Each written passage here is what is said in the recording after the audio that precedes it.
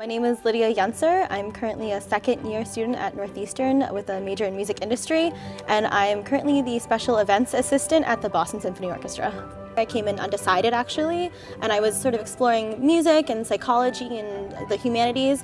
And when I found out that they had a music industry major, I thought it was a perfect fit because it's still in the music industry, which is what I am interested in. But it's not so much about performance and you know all of um, playing. It's about sort of the administrative side and the technical side, which is something that I really like. I'm not really focused on the concert side of things. I'm focused on the donor side of things. So whenever we have an event for donors or for patrons um, that's sort of in recognition of their giving, I check to make sure that they're coming or they're not coming. I work also with the volunteer services area, and so um, for that I'm in charge of basically getting, getting any new applications in, processing those, and I'm not just always sitting at my desk and, and just typing things in. I actually prefer, you know, having to go to an event. I think it's the most fun part to just see all of your, like, your work come to fruition.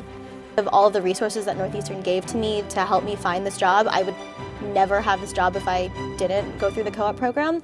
And so for me, just being able to come in and work nine to five and know what it's like to be a professional in this industry and be treated like a professional, I don't feel like I'm treated as an intern. I'm not fetching coffee. I'm not like just making copies. I have actual duties. And that's really nice to feel like you actually have a role in this company.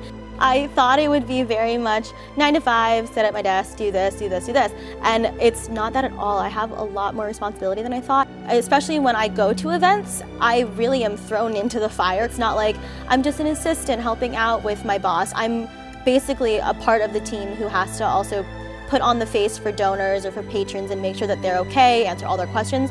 So it's a lot more responsibility than I think I was expecting, but in a good way if you're looking to get ahead in the working field, this is great.